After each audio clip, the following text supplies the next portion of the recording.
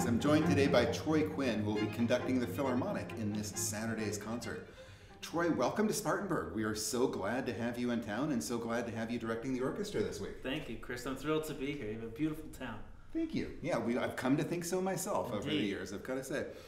So tell me a little bit about yourself. What's your What's your background? How did you get into music as a kid? What's your story? Well, I'm uh, originally from New Haven, Connecticut, born and raised a New Englander, and um, I went to school back east, and uh, then I studied at Manhattan School of Music in New York City, Uh-huh. and I uh, went there to do my master's, and then I went out west to USC Okay. uh, in California to study conducting. The other USC. the other USC, right. the wrong one. Yeah, uh. and um, and do my doctorate there, and got into the film and television and studio industry, and uh, became a conductor. But it really all first started for me at 12 years old. Uh-huh. When I went to the Hollywood Bowl back then, my parents would take my brother and I on vacation. You could have open dress rehearsals then, and I saw a guy by the name of John Williams conducting Mm. up there. And he just went dun dun dun dun dun dun dun, and I knew that I thought that was the coolest job on earth, the visceral force of the orchestra. I didn't know anything. I didn't know how to read music, but I thought I wanted to do that. So that was sort of my journey at, at the beginning to where I wanted to be. That's interesting. So you began your interest in music with the knowledge of I want to be a conductor. That's pretty unusual, isn't Yeah, it? I it feel like is, I don't talk with many people who who know from the, the the the outset that they want to be conductors. Yeah, and it, I- I didn't really, I wasn't cognitive of what it required to be a conductor. You know, I had been a singer in school, I played piano, and I learned by rote, but I came to music later in terms of formal training. So, but I knew I wanted to lead, and I knew I wanted to be um, making music with other people. So I think that that was what drew me. And then I learned the mechanics and the technical process of actually reading music, studying a score. And so I kind of knew that I wanted to be that profession, but I didn't know what went into it until later in my schooling. Huh. Yeah. So you're starting off in high school and singing in choirs Correct. and things like that. Yeah, yeah. And you're singing, but you're also probably making mental notes of like, okay, I'm going to do it like that someday. I'm, I'm not going to do it like that someday. I know what Yeah. to do and what not to do. Uh-huh. You know, and I had great fortune of performing with many, many wonderful, famous mentors and conductors, and and I was singing for the most part in some of these um, choral ensembles. Um, but then I got into conducting after that because I thought, uh, you know, I, I really wanted to see what it's like to have choral and orchestral. You know, and I had a bit of an orchestra background in terms of piano. And then I just started studying the instruments and taking classes and going into Manhattan School of Music and going to these great, you know, masters, Glenn Dicterow, former concertmaster, going into his lessons and learning everything about bowing and everything about the violin. And that was the greatest hands-on training for me.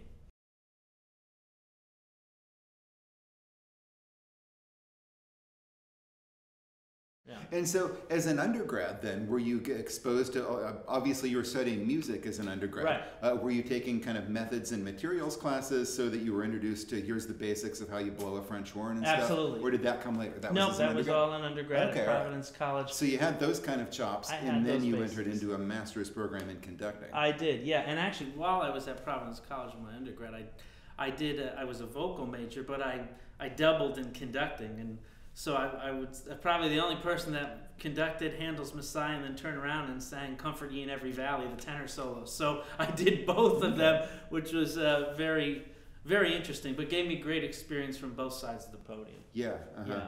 Uh, and I expect that having been an ensemble member and a soloist, as well as a conductor, you kind of c- come to understand some of the emotional dynamics that go into being an ensemble member, being a soloist, Absolutely. and being a conductor. Yeah, and there's this real symbiotic relationship between all of these folks, and, and certainly having been in each one of those positions, it gives me a better idea of, you know, when I'm up there on the podium working with a soloist, whether it be a vocalist or Fabiola Kim's coming into play, the Lark Ascending this week uh, on violin. Uh, as her name insinuates, she's in a fabulous violinist, and um, she is just uh, incredible to work with. But that sort of training at the early stage gave me comfort in, in terms of working with, with guest artists Uh-huh. all my career. Yeah.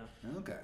And so you're out in LA then as getting your doctorate. Right. Uh, and of course, you know, you've got great orchestra in LA, you've got other great music scene, the LA Yeah. Chamber Orchestra and stuff, but you've Right. also got all of those movie studios Yeah, yeah. doing their thing. That well, USC was a gateway for me in terms of opening the door to that world. You know, I, I, had grown up listening to popular music of the day, you know, everything from Michael Jackson in the 90s to popular music of the 60s, Frank Sinatra, Barbra Streisand. Um, and so film scores, Ennio Morricone, you know, that was always going on in my house. My parents were music aficionados, not trained musicians, but loved music. So Mhm. all of that kind of conglomeration of musical tastes came to a head in LA. And you know, while I was at USC, I had these opportunities and after to start in the studio world, doing backup vocals and, and some conducting as well, um, and, and working with these great celebrity people and uh, some great artists along the way, but but mostly fun, you know, um, and and and making a career doing things that aren't so traditional, you know, Uh-huh. like not playing Walton or Beethoven, you know, which is which I love, but I also love, you know, doing TV commercials or singing on a film or playing for a film or, or, or, or a television show. You know, those are all viable, I think, uh, uh, viable paths of, of music making. Yeah. Yeah.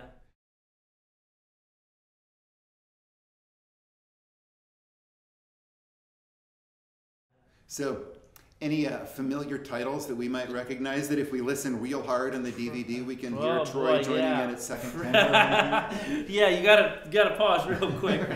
uh, no, I had the good fortune of being on Glee for a few uh, episodes when Oh, that was big uh, with Lea Michele and um, doing a lot of background work with them, background vocals and on-camera work. So.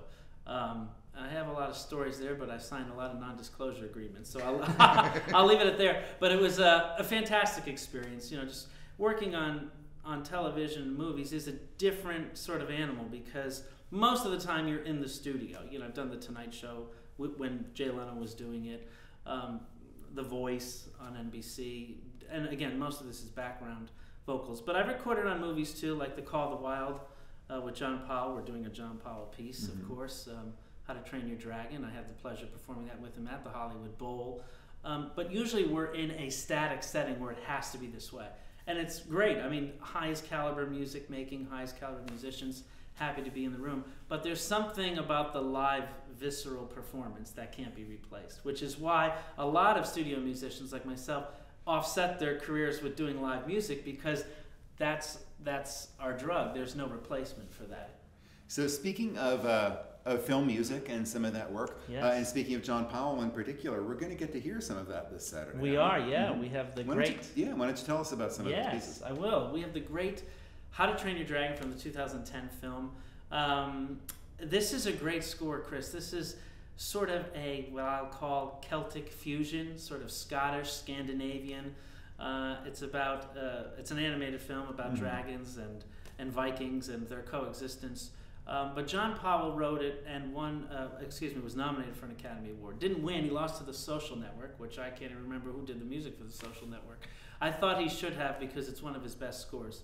But this score is amazing because it has a Celtic feel, but he wrote so many. Um, so so many themes for this music. Now we have a condensed score, but the original has like eight horns and 30 percussion Mhm. instruments, glass marimbas, Uilleann pipes, the Irish bagpipes, all these sort of ethnic instruments. But you'll get a feel for that um, in in the concert this week, and we're going to play the five minute suite.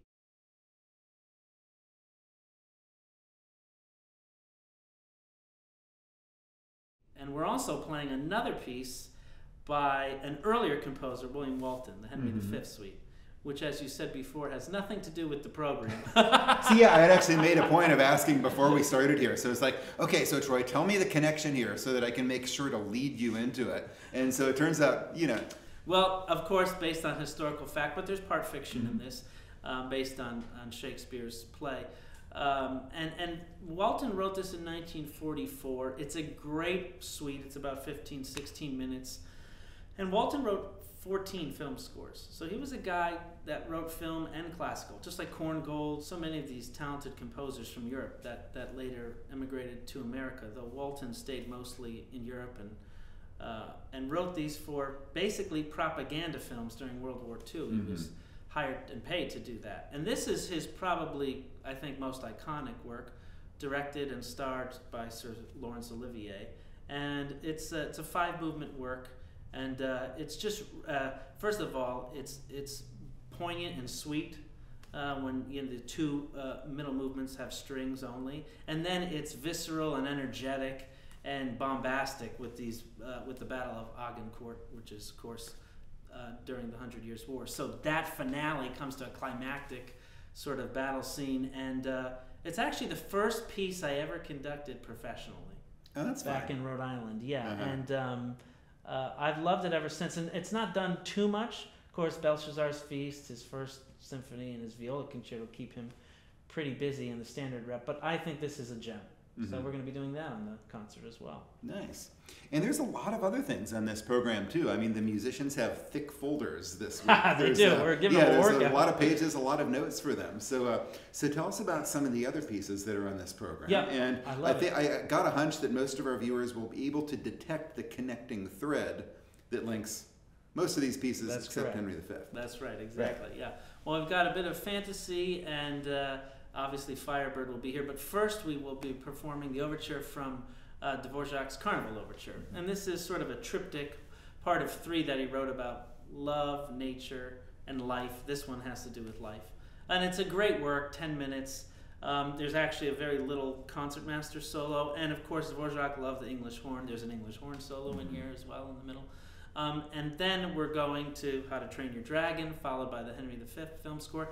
And then, just as a little sort of ending of the first half, we're going to play Bizet's uh, Farandole from his La Suite Number 2 Mhm. And um, again, based on a French melody and a French Christmas carol, really just energetic.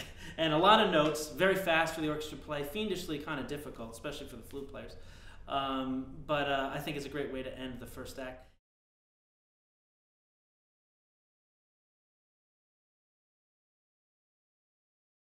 Then we come back and we've got Fabiola Kim playing the Lark Ascending by Vaughan Williams. One of my favorite pieces. Mhm. I've actually performed it with Fabiola. This is now the fourth time.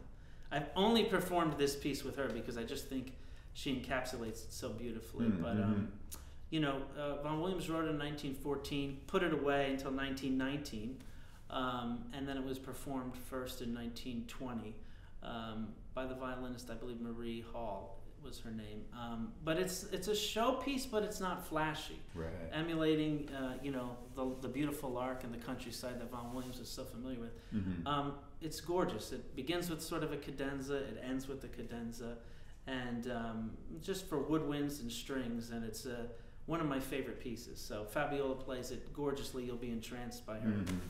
And then we're going to another piece, Suite, written in 1919, Firebird by Stravinsky. And of course, 1910 he wrote it uh, for the Ballet Russe, but he then sort of chopped it up and made a condensed version. And that's what we'll be playing, the 20 minute suite. Mhm. And this is probably the most well known work. People, listeners will know it from Fantasia and, and other things, um, especially the finale. But to me, it just depicts not only you know the Firebird uh, and fantastical theme we have going, but it just depicts great orchestral writing. You know, Stravinsky studied with Rimsky-Korsakov, and, and, and his his writing of the orchestral and treatment of orchestral instruments is so thrilling.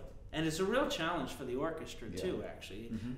Uh, Stravinsky asks the orchestra to do a lot of different techniques. And it ends with the greatest, probably, finale in all of music, or at least up there in the top five. So we're going to get a lot of Good moment when the solo horn comes in, folks. Absolutely. Wait for the horn. Absolutely. Wait for the horn. Wait for the horn. And there's a beautiful bassoon Mhm. solo, too, as you know, in the Berceuse lullaby. Um, but I'm so thrilled to be here with the Spartanburg Philharmonic and, and uh, give this concert to you because it's some of my favorite music. Yeah. So let's dig into into a little bit of this music in greater detail. And by the way, folks, some of these tunes you don't know that you know them, but you know them. Once that farandole starts up, you're going to be like, "Oh yeah, I know yeah, this one." I've heard that. Uh, yeah, and the Lark Ascending is another one that is. Right. Uh, most people can't hum the tunes, Right. but once it gets into it, it will feel very familiar. Absolutely. That I know BBC Classic Music is the music magazine in Britain, and they do an annual, every, few years, they do a poll of uh, the most popular music among listeners, uh, and Lark Ascending consistently comes in to that top handful there.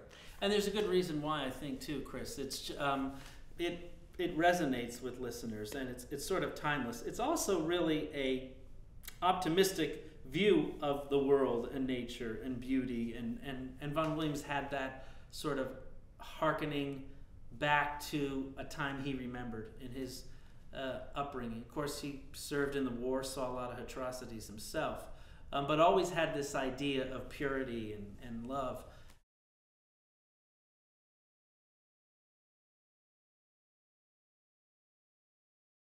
But, but he, he has a poem by the Victorian author George Meredith there at the beginning of the piece. It's actually in the mm-hmm. score Yeah. about the lark, and so that's sort of the inspiration behind it. But I find that this piece actually is not an all violinist repertoire. You know, when I was first starting to do this, study this piece, I, I asked a lot of what famous violinists to play.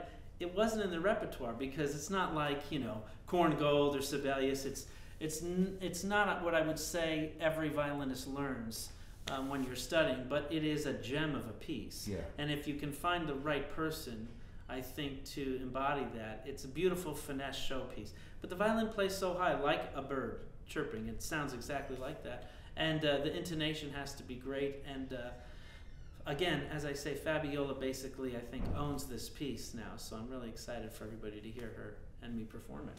Yeah, and it's one of those pieces that is challenging in such a way that often as an audience member, you're not aware of just how hard it is. Yes, And in true. fact, you know, the better the fiddle player is, the less the audience notices the technique that goes into Correct. placing all of those you know those pitches so perfectly where they need to be and in keeping the tone production as even and spun out as it needs to be as they're changing the bows and doing all of that really difficult finesse work Absolutely, yeah. It has to be imperceptible, and, and Yeah. nobody's better at it than Fabiola, in my opinion. So, Mhm. um, and it's it's just a beautiful piece to listen to.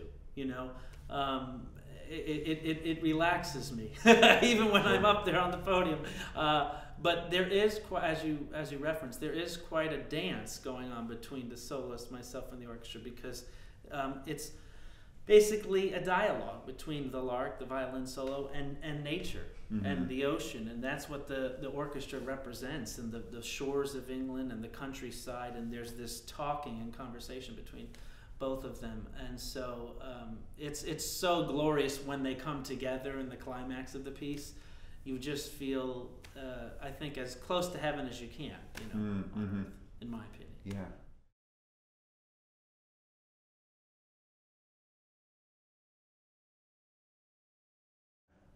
And Firebird is another one of these pieces that there are going to be many moments where the audience recognizes, oh, yeah, this is familiar. This is very familiar. I've heard this part before. Whoa, this part was weird. I didn't know this was in here. You know, Right, because yeah. there's definitely moments of, of eeriness and strangeness that. Stravinsky is, uh, is concocted there. Very, and it's it's cross generational because I was recently speaking to some school students playing some of that. Uh, we were listening to, you know, the finale, and there and somebody raised their hand and said, "I recognize that from that car commercial." yeah. That was also in Fantasia. it- It's been around for a long time, but yeah, these are recognizable tunes. Again, Stravinsky had such a gift not only with melody but with um, with the orchestration.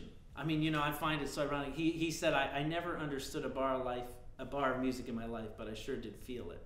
Now, Stravinsky, for Stravinsky to say that is kind of amazing, but you can see the, you can, I mean, hear and feel the emotion that he puts into it. Certainly, he knew what he was doing, um, but he, he, he, he depicts all of these different scenes, you know, with King Kashchei in the garden and the firebird coming to, to life and breaking the spell of, of the princess. And he depicts that with different individual um, instruments so clearly, you know. And also, it's a challenge to conduct, actually. I mean, Mhm. because it's so one on one based and it, you know, it's one of the famous excerpts that starts off in 12 8, so we're actually conducting Mhm. 12 you know eighth note bars and um, there's there's a lot of moments the harp and and piano have these flourishes and of course there's all sorts of stylistic bowings in the violins and the strings. Um, but I, I, I think the climactic build up to the finale is just the most rewarding I think 20 minutes you can you can listen to in my opinion. Um, and uh, it's one of my favorite pieces and, and I know the orchestra will deliver a, great performance And it's a tricky, tricky, tricky set of parts for that orchestra. So, talk a little bit about the rehearsal process when you're working your way through some Sure. of the more complex gnarly bits of there where the orchestra is written with these very complex rhythms and everybody has to fit together like this Right. perfect little machine. Absolutely. When you're working something like that, like the variation of the Firebird, for instance, how do you do that as a conductor? yeah, you, you start and hope you end together and stop. um, to be honest, and a lot of this is from my studio background too. I, I'm I'm very much go to the most difficult place first and get that done. And time is of the essence because we only have a limited amount of time. We'll have three rehearsals this week, and and that'll be it. So not a lot of time to fit in the 80 minutes of music. Um, but I, I start with the hardest things first. And if we can fit that in and get a sense of the pulse and rhythm. You know, Robert Shaw always used to say, what's the hierarchy of things? And, and, and rhythm was actually number one for him rather than pitch. Of course, you need the right notes. yeah. But, but Which is especially interesting because he was a choral conductor. He conductor was, right, primarily. exactly. You know, and it's Right. not like you know, I, as a flutist, I go to play an E flat. I put my fingers in a certain place, and it's going to be an It's E flat. right, yeah. Might not be a good E flat, but it's going to be an E flat. Right. Whereas when you're dealing with singers, anything could happen Very when you open your mouths, and it's fascinating that to hear that he was most focused on rhythm Pulse. even before Yeah. he was concerned with pitch. And I think that's actually true no matter what piece you do. It's got whatever you want to call it. If you're in the jazz world, you call it a groove. If you're in the classical world, front edge, back edge, whatever. Um, and I think there is a pulse to all of these pieces, and there's something to unlock. Not just the idea of it musically, but but technically, rhythmically. And so that's where, especially with Stravinsky, that's where we'll, you know, go first. And and I try to weed out the uh, complicated things and let the orchestra, particularly these folks have played this piece many times and know it well, but not just know your part, know where you're important and where you're not. And so weeding out the noise because at certain points in the in the you know infernal dance, it's just you know the percussion's going along and the violins are they don't hear anything. It's just noise at that point you know? So i think to weed all that out and see how things fit together that's where we go first and try to get the most difficult things done and and simplify. And and uh, you know i think doing it efficiently is is is is my secret at least to whatever little success we have is is doing it efficiently and also you know having great artistry requires trust. So, you know, me being able to make music with these great professionals, that's what I, I that's why I'm up there. You know, I'm sure I need to tell people what the tempo or the idea. We need one, otherwise if we have 80 dissenting opinions. But for me, it's this collaborative process. You know, I'm I'm a musician's conductor, so I that's the real joy in trying to create this and have this trust barrier without saying anything. Where they're willing to go on this journey with me and together we can because i need them. I need to empower them and impassion them 100% you know? And that's the real uh, what's the word? That's the real magic that happens in these great performances that you can't put your finger on. Subconsciously i think that's what we're looking for. So it sounds like it's going to be a great evening. It for will us. be. So after after this weekend is over, do you get to go on home and relax for a little bit? for a week i'm back to Okay. los angeles and Uh-huh. then on to some more concerts in florida and kentucky after that And is, is LA home for you now? It is. It is. Yeah, Okay, it's been uh-huh. home for since I went to school and never left. Yeah, Mm.